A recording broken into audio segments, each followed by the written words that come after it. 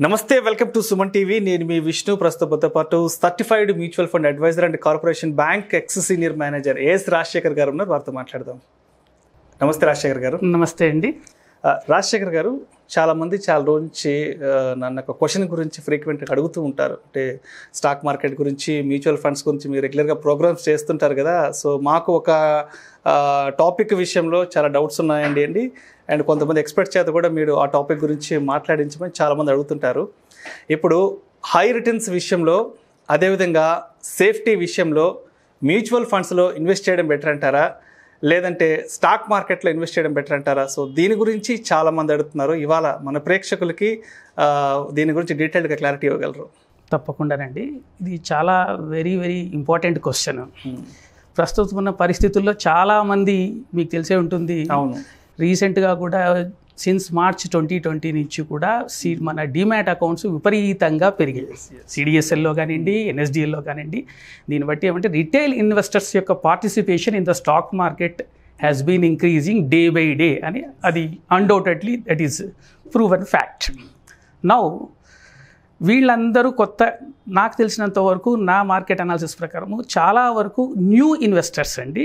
That to below thirty thirty five years age లోపల ఉండే young generation yes ఇప్పుడు మేమంతా డక్కా మొక్కిలన్నీ తిని బ్యాంక్లో పనిచేసి థర్టీ ఇయర్స్ ఆఫ్ సర్వీస్ చేసి ఉన్న జనరేషన్ ఒకటి ఉంటుంది. ఈ thirty years experience thirty years age ఉన్న వాళ్ళు వచ్చారు. వాట్ ఐ అబ్జర్వ్ వీళ్ళందరూ కూడా అడిగే క్వశ్చన్ చాలా మంచి క్వశ్చన్ ఇదేమని మేము ఎందుకండి మేము మాకు తెలుసు మార్కెట్ గురించి మేమే డైరెక్ట్గా ఇన్వెస్ట్ చేస్తాము. మళ్ళీ మ్యూచువల్ ఫండ్ అంతా ఎందుకు? దానికి ఇది అని చాలామంది నన్ను కూడా అడిగారు. దీనికి నేను కొంచెం ఎలాబరేట్గా చెప్తానండి. ఓ ఎగ్జాంపుల్తో చెప్తాను. ప్రేక్షకులకు కొంచెం బాగా అర్థమవుతుంది.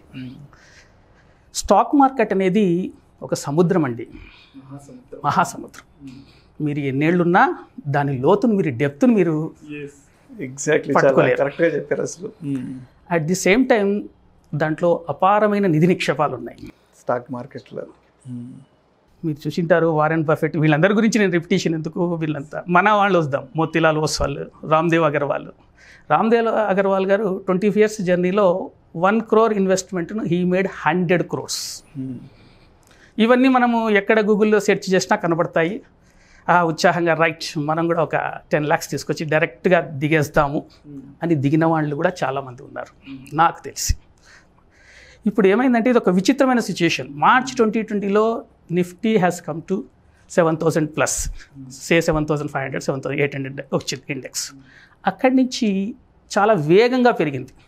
సో అక్కడ ఇన్వెస్ట్ చేసిన ప్రతి వారికి మార్కెట్ గురించి తెలియకున్నా స్టాక్ అంటే ఏమో తెలియకున్నా ప్రైస్ ఎర్నింగ్ రేషియో అంటే ఏం తెలియకున్నా డబ్బులు వచ్చాయి.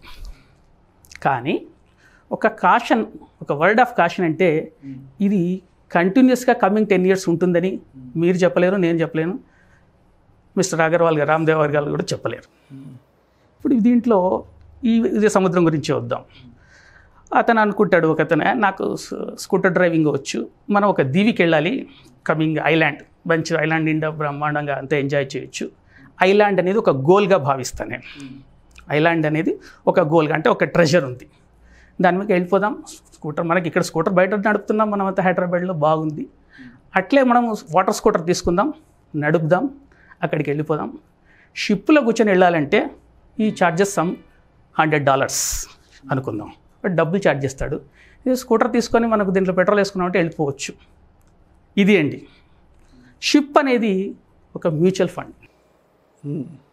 స్కూటరు మన సొంతం. మనమే వెళ్ళాలి. స్టాక్ మార్కెట్ అనేది సముద్రం. అలలు మీరు పై బయట నుంచి చూస్తే బాగా ఉంటుంది. దిగినాక తెలుస్తుంది. ఆ అలలు ఎలా ఉంటాయి? ఎంత ఫియర్స్ఫుల్గా ఉంటాయి? ఒక్కసారి కొట్టిందంటే స్కూటర్ కాదు మనిషికి శాలిటీ కూడా గల్లలుతాయి వేరేజ్ మ్యూచువల్ ఫండ్లో షిప్ ఎవరు సర్టిఫైడ్ కెప్టెన్ ఉంటాడు మీ క్యాబిన్ ఉంటుంది. రిలాక్స్గా కూర్చొని అంతా ఎంజాయ్ చేస్తూ వెళ్ళండి. మనకు అది బెటర్ అంటారా? స్కూటర్ మీద వెళ్ళడం బెటర్ అంటారా? మీరే చెప్పండి. నేను ఇది ప్రేక్షకులు కూడా అడిగే క్వశ్చన్ అది. మనకు ఏదో మార్కెట్లో కొద్దిగా తెలిసినంత మాత్రాన మనం చేయొచ్చు. ఎక్కువ రిటర్న్ దేంట్లో వస్తుంది? రైట్ ఇది ఇంకా చాలా మంచి క్వశ్చన్ దానికి సేఫ్టీ గురించి చెప్పారు. సేఫ్టీ అనేది మాత్రం నేను అనేది నా యొక్క thirty years of experience in the banking industry as well as నేను స్టాక్ మార్కెట్లో రెగ్యులర్ ఇన్వెస్టర్ అండి.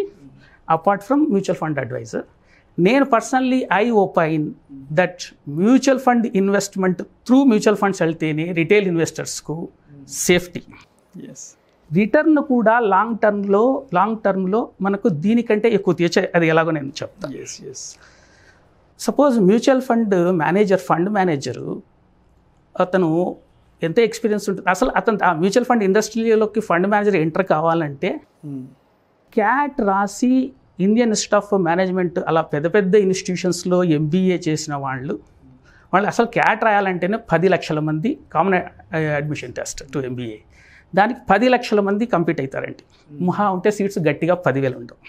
దాంట్లో ఎంబీఏ ఫినాన్స్ స్పెషలైజేషన్కి వచ్చేటప్పటికి మహా ఉంటే ఒక రెండు వేల మూడు వేలు. ఆల్ ఇండియా లెవెల్ గురించి నేను మాట్లాడుతుండేది. ఉంటాయి. ఆ మూడు వేల మందిలో top cream cream of the దాంట్లో బ్యాచ్నే తీసుకుంటారు. మ్యూచువల్ ఫండ్ ఎందుకంటే వాళ్ళు దే పే వెరీ హెవీలీ తీసుకోవడం కూడా వాళ్ళని తీసుకుంటారు. సో అంత ఎక్స్పర్ట్ మీకు జస్ట్ టూ పర్సెంట్ మన మ్యూచువల్ ఫండ్లో మనం డైరెక్ట్గా మనము ఇన్వెస్ట్ చేస్తే మనకు వచ్చే ఖర్చు ఏమంటే మ్యూచువల్ ఫండ్ ఎక్స్పెన్సెస్ అండి. టూ పర్సెంట్ అది కొంచెం depend depends upon the mutual fund house కొన్ని one percent one to two percent మధ్యలో ఉన్నాయండి. Say higher side two percent అనుకుందాం. టూ పర్సెంట్ ఉన్నా కూడా మీరు షిప్లో కూర్చొని లైఫ్ ఎంజాయ్ చేస్తూ మీ గోల్కి మీరు వెళ్ళడం అంటే దీవికి వెళ్ళడం ఎంత హ్యాపీగా ఉంటుంది. మీరు సొంతంగా వస్తారు దిగుతారు. ఫర్ ఎగ్జాంపుల్ చిన్న ఎగ్జాంపుల్ లైవ్ ఎగ్జాంపుల్ చెప్తానండి. మొన్న అందరు చాలామంది జొమాటో జొమాటో అని పబ్లిక్ వన్ మంత్ బ్యాక్ అది సుమారుగా చాలా ఎక్కువ వర్డ్ సబ్స్క్రైబ్ అయింది. నేను అప్లై చేశాను నాకు రాలేదు. ఓకే అది వేరే విషయం. అది వన్ ఫార్టీ సెవెన్ లిస్ట్ అయిన తర్వాత వన్ ట్వంటీ నుంచి ఏదో స్టార్ట్ చేసి వన్ ఫార్టీ నైన్ వరకు వెళ్ళింది వీతింది వెళ్ళి మళ్ళీ వన్ ట్వంటీ త్రీకి వచ్చింది. మళ్ళీ వన్ థర్టీ మొన్న శుక్రవారం నాడు వన్ థర్టీ సెవెన్ రూపీస్లో మార్కెట్ అంతా పడినా కూడా అది దాదాపు ఫైవ్ పర్సెంట్ సిక్స్ పర్సెంట్ కొన్నారు. పెరిగింది. పెరిగితే చాలామంది రిటైల్ ఇన్వెస్టర్స్ నేను చెప్పిన యూత్ లాంటి వాళ్ళు ఏం చేశారు? వేలకు వేలు కొన్నారు. వన్ థర్టీ సెవెన్లో క్లోజింగ్ కూడా వన్ థర్టీ ఎయిట్ ఆ ప్రాంతాల్లో ఈరోజు ఎంత అండి అది? వన్ ట్వంటీ నైన్ దాదాపు సిక్స్ పర్సెంట్ సెవెన్ పర్సెంట్ మీకు డౌన్ మీకు ఒక స్టాక్లో సెవెన్ పర్సెంట్ మీరు కింద పడితే మీరు తట్టుకోగలరా? కష్టం. అదేంటి నేను అడిగేది.